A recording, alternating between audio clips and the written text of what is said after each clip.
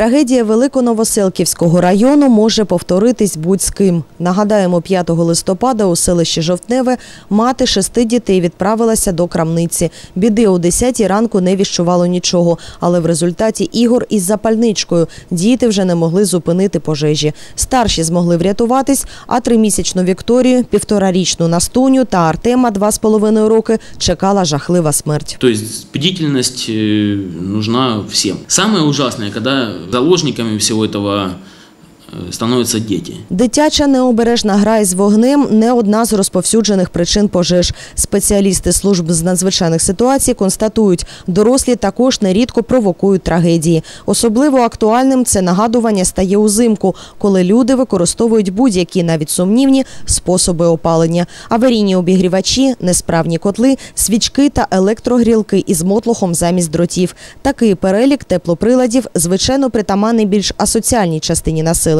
але і вельми обережні та фінансово забезпечені люди можуть потрапити у полон необізнаної необережності. Поэтому обращаюсь э, к нашим согражданам, к мамам в первую очередь.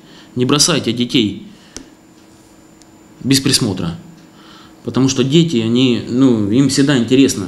Огонь это всегда интересно. Отже, втішаючи себе думкою, що трагедія пожежі мене не торкнеться, пам'ятайте, ця думка згубна. За лічені секунди ваша впевненість в надійності техніки може виявитися невиправданою і розвіяти попелом не тільки ваше власне помешкання, але й сусідів. І щастя, якщо необачність не обернеться смертю.